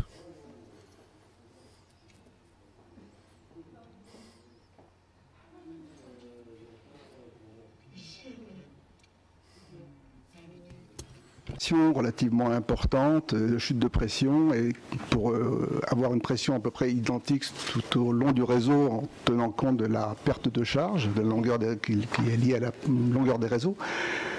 Pourquoi ne pas euh, mettre sur les stations de pontage, enfin encore que je ne sais pas si on le fait ou si on ne le fait pas, des moteurs brushless sur les, sur les moteurs des pompes avec des roues, des roues, des roues adaptées. Je ne sais pas si vous connaissez les moteurs brushless avec des roues adaptées qui ont un profil de fonctionnement qui part de 0 à 100% et donc qui ne consomment que le, courant nécessaire pour répondre aux besoins. Donc ça, ça évite d'avoir des à euh, et des appels de courant euh, très importants lorsqu'une pompe se met en route, et vous avez un profil de consommation qui est beaucoup plus faible. Ça, c'est le premier point. Et le deuxième point, donc si on peut avoir dans le réseau initial, le réseau principal, une, pression relativement basse, avec, euh, comme l'a dit euh, le, président du SMPGA, euh, en pied ou sur les secteurs, des reprises par les pompes multicellulaires, toujours avec des moteurs brushless qui vont résoudre, d'une part, la pression sur des secteurs adaptés, et puis mesurer les débits en même temps, parce qu'elle fait, fait la double fonction. Je ne sais pas si vous connaissez ces systèmes. Apparemment pas. Euh, euh, les, moteurs brushless sont des moteurs à roues codées qui peuvent partir de 0% à 100% sans, courant d'appel. C'est-à-dire que le moteur ne part pas d'un seul coup à, sa, puissance et à, son nombre de tours maximum. Il va, elle va tourner progressivement en fonction des besoins et en consommant le courant simplement aux, besoins nécessaires. Uh, Je crois que vous parlez euh, de, changer le système de prévisionnement du euh, réseau euh, et plutôt, plutôt que d'avoir un, niveau qui est toujours le même par pompe pour, pour voilà, réguler la pression. C'est une possibilité, mais euh, cela, euh, évidemment, changera les conditions de fonctionnement du réseau. la récupération d'énergie, dans ce cas, est un facteur qui peut être important pour euh, évaluer si il est, si cette solution est pratique.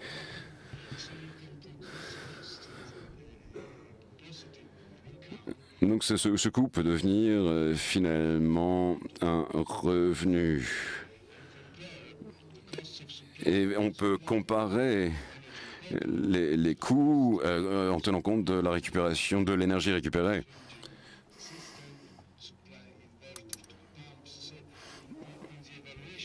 Donc dans l'évaluation du système, on peut faire ce type de changement changement d'approvisionnement, euh, pour avoir une moindre utilisation d'énergie.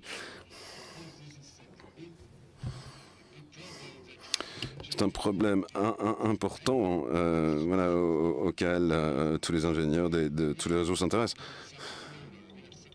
Nous, pour l'instant, on fait des choses plus de, moins grande ampleur. On dit simplement, voilà, s'il y a de l'énergie à récupérer, on peut la récupérer de cette manière.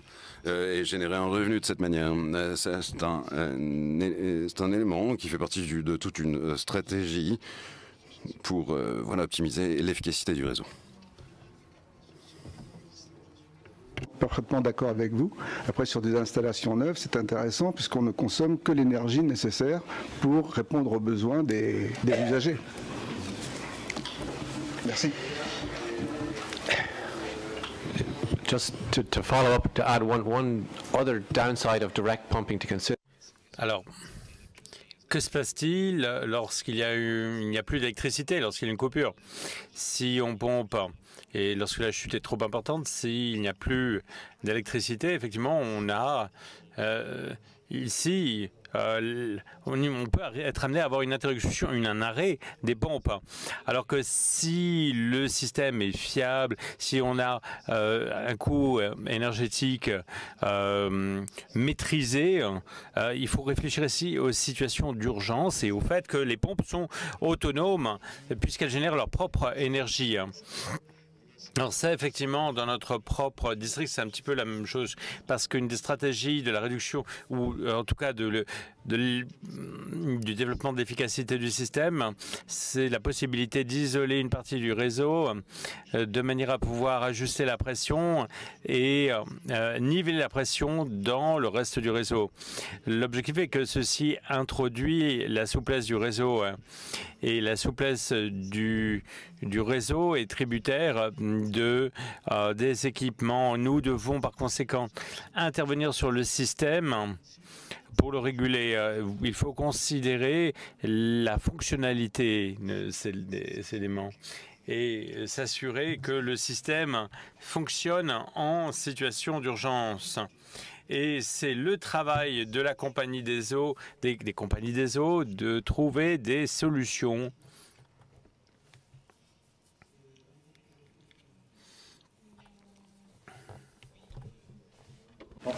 tout seul. Bon, euh, oui, je, voudrais quand même souligner une chose, c'est que bon, on, réfléchit à cette, question de récupération d'énergie de façon globale au niveau européen. Il est clair que chaque cas est un cas spécifique et qu'on ne peut pas euh, réfléchir de la même façon à un site qui offre un site montagneux, par exemple, qui offre des dénivelés importants avec des deltas de pression euh, qui sont euh, largement supérieurs à 10 bars, voire euh, pourquoi pas 100 bars, comme c'est un peu le cas au Portugal, et des régions plus plates, comme la nôtre, et où on a des, des, différentiels bah, qui peuvent être liés en altitude, grosso modo 100 mètres, avec en plus des châteaux d'eau, donc à la rigueur euh, des, deltas de, pression de 15 bars, quoi, mais c'est vraiment le maximum qu'on puisse utiliser, et encore de façon très très ponctuelle. Et donc, euh, moi, je me suis, quand j'ai préparé cette rencontre, je me suis appliqué à réfléchir à ce qui était possible de faire, à ce qui était possible de faire dans le cadre du SMPGA. Voilà. Donc, euh, et je voudrais maintenant continuer la discussion dans le cadre du SMPGA, compte tenu du territoire, de son profil, de ses altitudes maximales, etc. etc. Bon. Il est clair que alors, je vous préviens, bon, euh, c'est vrai que ce que je vais dire ne va pas forcément être euh, bien admis, mais j'ai un point de vue lié évidemment à l'étude que j'en ai faite, qui n'est pas si enthousiaste que ça, hein, euh, vu, sous l'angle du, territoire du SMPGA. Euh, qu'il y ait de l'énergie dans les réseaux, c'est une évidence. Que cette énergie est, pour une part, soit nécessaire pour faire fonctionner le réseau, c'est aussi une évidence. Qu'on puisse en récupérer une partie, peut-être. Il s'agit de savoir quelle partie, pour ne pas mettre en danger le bon fonctionnement du réseau, donc quelle partie, à quel coût, donc le coût de l'installation, des remboursements des prêts, etc., et de la maintenance. Et c'est dans cette balance qu'on pourra voir si c'est rentable ou pas. Parce que, bon, on ne fera pas admettre aux contribuables de récupérer de l'énergie uniquement pour le plaisir de récupérer. Si on doit récupérer des toutes petites quantités par rapport à l'investissement, il est clair que ça ne va pas soulever l'enthousiasme. Même si du point de vue euh, euh, de la bonne conscience, on sera content d'avoir économisé de l'énergie. Voilà. Alors, moi, je veux, je, pas forcément maintenant, mais je veux bien mettre euh, en, discussion l'analyse que, j'ai faite. et très honnêtement, euh, qui n'aboutit pas loin de là, toujours à la conclusion que ben, l'investissement en vaudrait la chandelle. Justement, c'est très intéressant ce que vous présentez euh, dans votre propos, ce que vous présentez justement les difficultés du dossier. Et en effet, la difficulté, elle est sur la rentabilité et sur le potentiel. Aujourd'hui, le potentiel, il y a deux grilles de lecture, vous m'arrêtez si je dis des bêtises. Il y a la grille en effet topographique, qui est le terrain naturel qui offre naturellement à un réseau des différences de pression. Ce qui permet, alors il est vrai que dans notre territoire, au niveau du SMPGA, c'est relativement plat, mais on doit avoir, je crois, 7 ou 8 réducteurs de pression sur notre territoire. Mais ces réducteurs de pression, sauf ceux qui sont à Avranches, où en effet on a une petite colline qui nous apporte une charge naturelle au niveau du réseau, mais les autres sont aussi liés au fonctionnement. Donc on a nos, exploitants divers, que ce soit STGS ou Veolia qui, sont présents aujourd'hui, ils, savent bien qu'en effet, dans la vie du réseau, on, est obligé parfois donc de, pomper pour, pour distribuer l'eau, mettre la pression nécessaire. Et là, vous avez, selon euh, l'emplacement sur ce réseau-là, celui qui va être juste à côté de la, du premier pompage va avoir une, surpression peut-être, une, une, surdisponibilité. Et celui qui sera au bout, en, bout de ligne, aura lui une sous-disponibilité. Donc il y a vraiment deux grilles de lecture et c'est pour ça que ce potentiel, la difficulté de définition du potentiel, elle a vraiment la lecture topographique et la lecture du réseau existant, tel qu'il est construit avec ses défauts et euh, ces, excès qui permettent d'avoir des récupérations potentielles. Euh, et c'est ça en fait qu'on cherche à voir, c'est comment pouvoir récupérer ces petits défauts, c'est-à-dire qu'on ne peut pas remettre en cause tout l'existant. Le but c'est d'arriver à aller vers l'avant mmh. et de tirer de l'existant ce qui est bon et de le valoriser pour justement avoir un retour sur investissement le meilleur possible. Ok, oui. Alors justement, c'est la, la à mon avis le troisième paramètre de la grille de lecture, c'est le paramètre économique. Et le troisième paramètre, c'est pour ça qu'on est là aujourd'hui. C'est-à-dire que pour arriver à un bon retour sur investissement de ce type de technologies, qui sont des technologies émergentes. Donc vous avez vu ce matin, c'est pour ça qu'on a fait intervenir, que ce soit Safe, Pont-à-Mousson, on fait le Jasmasson, des, des, premières entreprises, alors il y en a d'autres bien sûr, euh, qui, ont fait certains tests. Euh, donc on est sur une technologie qui est peu connue, et forcément, comme toute technologie encore peu connue, les retours sur investissement sont encore un peu balbutiants. Vous, vous avez entendu parler notamment de la route solaire qui a été construite en France. Si on fait une lecture uniquement financière de la route solaire, c'est une blague. Voilà. Par contre, ce qui est intéressant, c'est l'idée, c'est la, démarche. Et aujourd'hui, l'objectif, c'est d'arriver à stimuler un peu cette démarche au, milieu du, au niveau de l'eau pour créer un marché, pour que derrière, finalement, ça va s'ajuster. C'est-à-dire que plus du monde s'intéresse au dossier, plus derrière, les entreprises s'intéressent, les maîtres d'œuvre peuvent le proposer, les exploitants y réfléchissent, savent comment ça fonctionne, pour que derrière, on arrive à, à affiner cette rentabilité. Techniquement, on sait faire, mais le marché ah et, encore balbutiant. Et c'est pour ça qu'on a besoin un petit peu de... Et, c'est là le nœud du problème, tout à fait. Alors, euh, là, je me pose une question. Alors là, je m'adresse, je m'excuse pour euh, euh, la plupart d'entre vous qui n'êtes pas concernés par la gestion du SMPGA, mais j'ai des questions tout à fait terre-à-terre. Monsieur Taillebois ou, ou Monsieur Cabaret, quel est actuellement, en prévision bien sûr, puisqu'il ne fonctionne pas, le coût énergétique et en euros prévus pour euh, le, fonctionnement. Alors, en, particulier le fonctionnement des pompes. Mais bon, le coût total, puisque vous parliez, monsieur Taillebois, en introduction ce matin, d'une espèce d'idéal qui serait de fonctionner euh, à bilan zéro.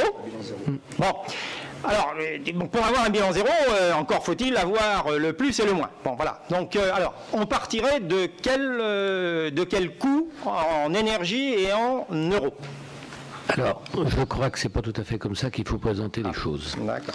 Il faut d'abord regarder tout le profil hydraulique de demain, puisque avant, chaque syndicat fonctionnait, était autonome.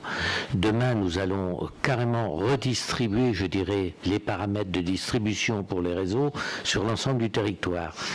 Hier, nous avions X réservoirs pour alimenter X pompage pour aller alimenter telle tête de réservoir. Demain, le but, c'est de connecter l'ensemble de ces réseaux et d'éviter justement d'aller X fois remonter de l'eau. L'idée, c'est de la remonter une première fois et justement, c'est de pouvoir et, et comment récupérer de l'énergie à partir d'une seule tête de réservoir et pas de X têtes, puisque à chaque fois que vous envoyez de l'eau dans un endroit, je vais vous donner un exemple simple, on va prendre euh, le réservoir de Granville, nous envoyons une premier pompage qui s'envoie dans une bâche de 1000 m3. Dans cette bâche de 1000 m3, nous avons une surpression qui renvoie ça dans le réservoir. Du réservoir, ensuite, nous renvoyons en distribution sur le réseau et nous réalimentons un réservoir qui s'appelle Saint-Plancher par une autre pompe de surpression. Le but demain, le profil hydraulique que nous sommes en train de mettre en place sera direct dans le réservoir de Saint-Plancher. Disons que par cascade, après, nous allons pouvoir justement récupérer de l'énergie. Elle nous aura coûté un pre- une première fois au départ, mais on pourra la récupérer sur le circuit plusieurs fois. Et ça, aujourd'hui, pour le quantifier, il faudra d'abord que l'étude hydraulique soit reprise en totalité sur le territoire. On ne peut pas le lancer comme ça. Aujourd'hui, on connaît à peu près le coût d'énergie que ça coûte pour faire tourner les usines, les pompages et ainsi de suite. Donc ça, mais par contre, demain, une fois qu'on va avoir optimisé, au lieu d'avoir X sources comme on en avait avant, on ne va plus en avoir que trois sources de prélèvement. Et à partir de ce moment-là, on va pouvoir franchement travailler sur un hydraulique et appliquer pour qu'on puisse vérifier et regarder. On ne va pas aller installer des récupérateurs de, de comment d'énergie euh, si ça sert à rien. Il faut que ce soit au moins euh, qu'on équilibre au moins ce qu'on a dépensé, ou alors c'est pas la peine. Ben, bien sûr. Mais non, justement, vous apportez de l'eau à mon, moulin là. Donc, on peut partir d'un chiffrage maximum, puisqu'il est clair que le but du SMPGA, c'est de faire fonctionner le même réseau à moindre coût. Donc, à partir du moment où vous me dites déjà actuellement quel est le coût de fonctionnement de l'ensemble du réseau, bon, c'est déjà un point de repère. Ensuite, un point maximum. Si ce point maximum, effectivement, ne permet pas un chiffrage rentable, bah, euh, c'est très pessimiste pour l'évolution de la situation. hein. Donc, euh, bon, alors, est-ce que vous avez une idée actuellement, bon, on peut différer la réponse, hein, c'est pas grave, hein, de justement de ce, de ce coût actuel de fonctionnement annuel? Alors pour l'instant, on a des coûts annuels, tout à fait. Euh, mais ça, il faudrait qu'on reprenne les données directement. Je ne vais pas balancer des chiffres. Je sais que pour un- les premières usines, je crois que c'est autour de 80 000 euros par an d'énergie, plus les, on a celle de la bergerie, je ne sais pas exactement. Euh, donc non, là-dessus, je pense que, en gros, je l'avais évalué en tout entre 130 et 150 000 euros à peu près d'énergie que nous devons dépenser en électricité. Je dirais que c'est une approche rapide Euh, par contre, nous avons quand même des unités de production aujourd'hui de petite capacité qui nous coûtent assez cher en énergie. Euh, on va quand même essayer de diriger vers les unités principales la production de façon à diminuer le coût d'énergie et le coût de fonctionnement. Parce qu'il n'y a pas uniquement que l'énergie, il y a les produits de traitement qu'il faut prendre et ainsi de suite. On Euh, parle de l'énergie, oui, oui, mélanger. ça en fait partie, je dirais. Donc aujourd'hui, si on travaille pour dans l'intérêt, je dirais, de, euh, comment, de l'environnement, il faut qu'on prenne tous les facteurs en jeu. Donc j'ai très bien compris votre question. Effectivement, aujourd'hui, c'est peut-être un peu tôt parce que c'était pas le but aujourd'hui rechercher. Nous, ce qu'on voulait savoir, c'est surtout connaître toutes les méthodes qui existent, peu importe les endroits, et donc de pouvoir prendre et s'imprégner de tout ce qui peut nous intéresser, nous servir demain. Et peut-être que nous, on va donner aussi des idées à nos collègues européens sur des méthodes et des façons de faire. Mais je dirais aujourd'hui, on est au balbutiement, je dirais, de nos recherches, Mais effectivement, je pense que dans un an, on pourra regarder déjà les essais qui ont été euh, comment réalisés et en fonction de tout cela, parce que on sait bien qu'on ne va pas tout faire dans une journée, on ne va pas tout révolutionner. Aujourd'hui, autre chose, il y a plein de facteurs euh, concernant euh, les renouvellements de réseau, il faut les repenser différemment. Avant, on remplaçait de l'identique, alors qu'aujourd'hui, on est sur un même territoire élargi et on va pouvoir utiliser ce, que, ce qui avait été réalisé par nos voisins pour éviter de refaire en double et en triple certains réseaux qui ne servent strictement à rien d'être, de passer les uns à côté des autres. Donc nous avons plein de choses à étudier. Euh, la distribution, on vient de la récupérer au 1er janvier 2018. Vous pensez bien, ça fait deux mois. Donc on commence à travailler, je dirais, sur tous les facteurs, mais je, je suis très conscient de ne pas mettre une usine à gaz, je vais l'appeler comme ça, en place si cela nous coûte plus cher qu'on euh, on ne récupère de deniers et on ne rapporte rien à l'environnement. Le but, c'est bien d'économiser de l'énergie et d'économiser des kilowatts pour l'ensemble. Si on en récupère pour pouvoir venir à un facteur zéro, j'en serais ravi et je pense que tous mes collègues qui sont là sont dans le même état d'esprit. Voilà. Alors, à partir du moment où vous le dites comme ça, ça me rassure totalement. Enfin, je vais vous, je vais, je vais être franc, hein, je, je, je m'étais un peu inquiété de l'emballement, du premier emballement, Non. en me disant, est-ce qu'ils ont bien conscience quand même que c'est pas aussi simple que ça? Bon, alors moi, je vais vous donner un élément de comparaison quand même pour, euh, pour comment dire, euh, attirer l'attention. Bon, vous me dites, euh, actuellement, on doit être sur une fourchette entre 130 000 et 150 000 euros de... C'est euh, un Bon, chiffre voilà, euh, balancé comme ça. hein. Mettons qu'on arrive à la descendre à autour de 100 000 euros, ça fait un compte rond, un peu plus, un peu moins, etc. On a parlé ce matin de l'expérience d'Annonay. Dans des conditions très particulières que j'ai tenu à souligner. hein. Donc, euh, réservoir à 500 mètres euh, et commune euh, située à 300 mètres, hein, grosso modo. Bon. Le, le- le système fonctionne. Il récupère ce qui était prévu, donc 132 000 kWh par an. Vous savez en euros à combien ça correspond au tarif de l'EDF, ta- tarif officiel? 19 800 euros. 19 800 euros par rapport à 100 000 euros. Bon, euh, voilà, c'est quand même pas le même ordre de grandeur. Voilà, c'est, c'est- voilà, je veux attirer l'attention là-dessus, je veux pas être l'empêcheur de tourner en rond, mais Mais on, on- on pourra prendre. Attendez, attendez, Dominique. C'est- On, on va être obligé de qu'on est en transmission live, donc il faut faire un peu attention. On prendra le temps d'en discuter. Euh, on, on- on se reverra. J'ai vu qu'il y avait une, une- peut-être une, une question. euh, que- Oui, non, c'est juste pour rassurer monsieur, pour lui dire qu'il y avait quand même une trentaine de projets en France qui existaient déjà. Dans le monde, c'est certainement un millier. Mais à l'échelle mondiale, c'est rien du tout. Et c'est super que une collectivité soit en train d'expérimenter un projet comme ça avec des, des personnes compétentes. Parce que à terme, ça peut vraiment peut-être permettre à, un ensemble de territoires et puis à d'autres collectivités de faire pareil. Donc euh, ne vous inquiétez pas, je pense pas qu'ils jettent l'argent par les fenêtres. Ils vont bien faire attention à ce que ce soit euh, viable, rentable. Et euh, c'est pour ça qu'en fait, il y a toutes ces personnes autour de la table. C'est que c'est expérimental. Et voilà, enfin. Mais je vous invite vraiment à vous renseigner. En France, il y a déjà une trentaine de projets qui fonctionnent. Vous en avez qui sont en 4 ans, ils sont, rentables. D'autres qui sont pas rentables parce qu'ils ont voulu politiquement s'engager sur une démarche similaire. Donc voilà, vous avez un peu de tout. Mais je pense que là, on est en train de. pff, la moyenne des dénivelés, la moyenne des dénivelés. Euh, je sais pas, ça va de 1 mètre en bas de chute. Bah oui, bas de chute. Vous me demandez, je vous dis, station d'épuration, vous pouvez avoir un mètre, mais euh, vous pouvez avoir 2 mètres cubes d'eau à la seconde. Vous me demandez, je vous réponds. Voilà. Après, vous pouvez avoir des 10, 15, 20, 30, 40 mètres, 5 bars, 10 bars de pression. En fait, c'est, c'est, il y a tellement de, de- de- de sites différents, c'est ce qu'ils ont. Ils n'ont pas arrêté de répéter, c'est qu'un site n'est pas forcément identique à un autre. Donc je vous invite vraiment à vous renseigner sur tous les sites qui sont aujourd'hui en fonctionnement, et vous aurez certainement beaucoup de réponses aux questions que vous vous posez. Non, non, non, non. On, on- on ne va pas faire le débat euh, aujourd'hui là-dessus. hein. Euh, donc, pour moi, je sais bien. Je, là, on, peut reprendre, on pourra reprendre cette discussion autrement, mais je pense qu'aujourd'hui, on est plutôt parti pour les présentations et de nos collègues européens donc, qui sont présents. hein. Donc, euh, est-ce qu'il y avait autre chose?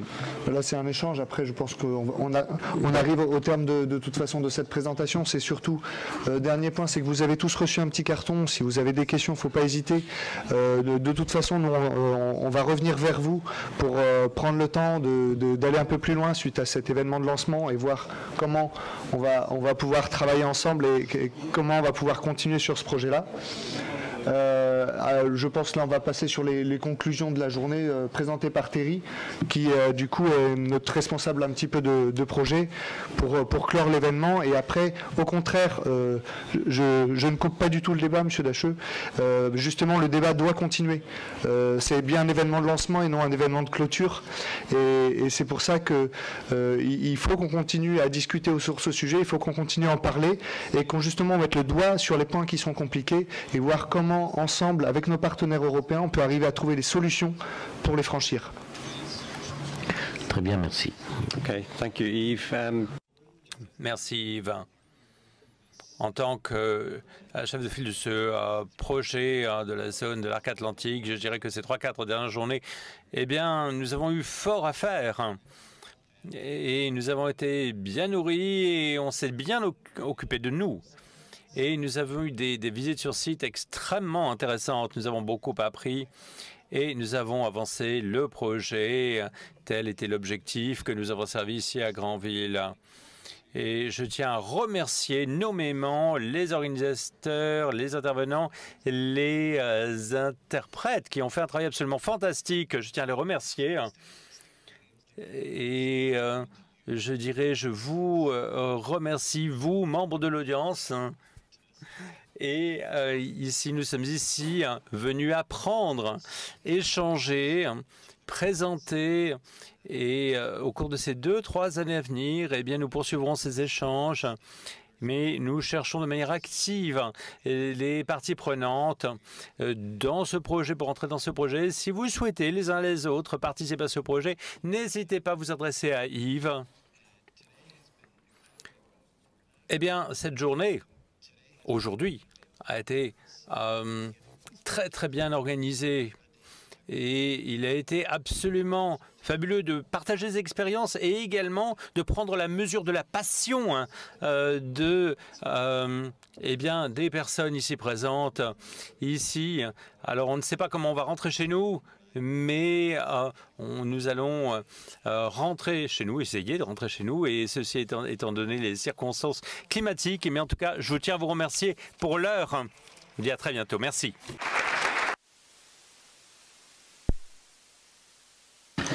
Merci.